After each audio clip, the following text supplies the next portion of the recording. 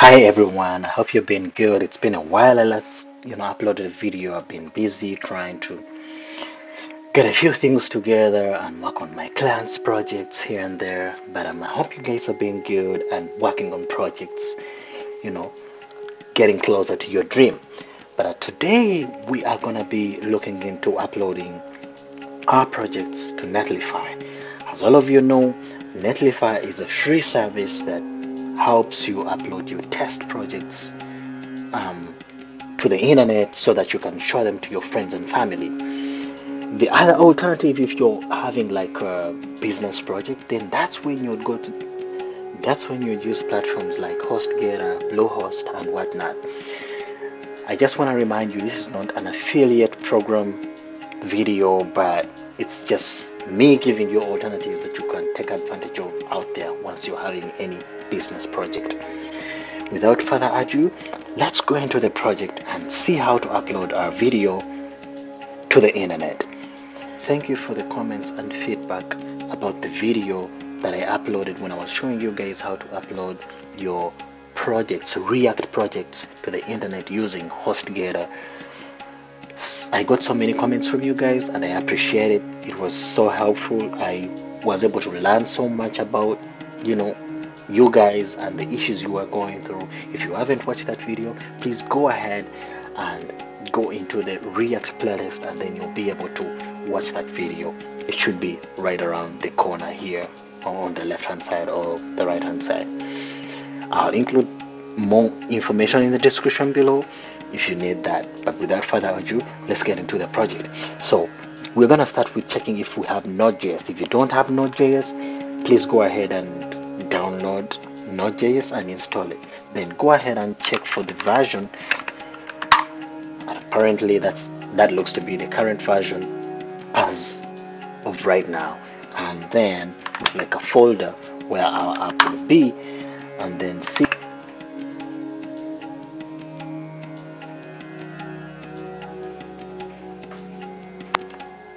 And it looks like our app is all set. No errors no nothing and we are all good to go.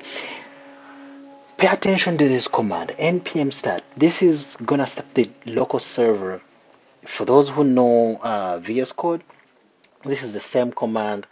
Um, just as you type you know um, run you know live server in VS Code this is the same command you use this time around to run a local server in your browser for your project.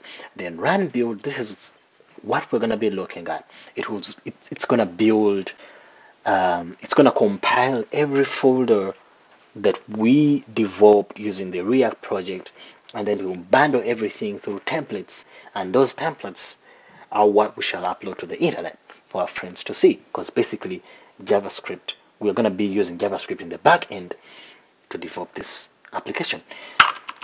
Without wasting time I'm gonna open up VS Code all right and I'll make sure because if you look into this there's a folder inside the npm uh, start to start our server in our browser and then that will take a second and it will pop up within our browser. Right that's taking a while but it should be all good. Um, if we take a look in here it looks like our app is um, it's up and running okay which is good news okay. When you look into this the most important uh, script in here is gonna be the app.js and this is where you can do all the edits. Normally this is how you wouldn't design your app because you would basically also include some components here and then you develop your html files in those components and then import um, import the components in here and then you know I have more information about how to do that in my other video in the React playlist. So please go ahead and look into that video. But for now, let's focus on deploying our app. So um, we can edit something like this. Need to cd into that app, and then I'll type npm build. notice here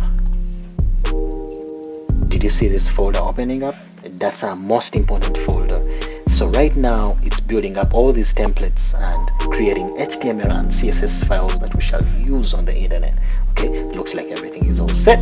So what we're gonna do is we are gonna um, so what we're gonna do is that we're gonna open up our directory on our desktop where this is the directory and then you will notice this build folder and then we are going to compress that folder because you cannot upload folders like basic folders to any platform on the internet. So what you need to do is to compress them zip them for windows uh, you know users and then this this is the folder that we're going to upload to the internet. Okay so open up your netlify account you'll need to log in or sign up. I'm using github to log in. I'm already logged in. And then you'll navigate to sites. Scroll all the way down. Drag and drop the build zipped file. And then this is the subdomain. I don't like the name of that right? But for now that works. Because you don't want to share such a link to your friends with such a name all right but it looks like. Our app is up and running which is a good thing. What i normally do i go down here and then change the site name to something better. Better world devs. That should work. And then this is the name. We shall share to our friends. I hope this video was helpful. I hope you liked it please consider to subscribe. For those who want to, to see how to deploy your app onto the internet on platforms such as HostGator and whatnot, please go to the React playlist and then look for video number three, and then that would show you how to do that on the internet. But for now, ciao. Don't forget to subscribe, share this video, like, and please follow up with other videos that I always post around here. Don't forget, build projects. Bye bye.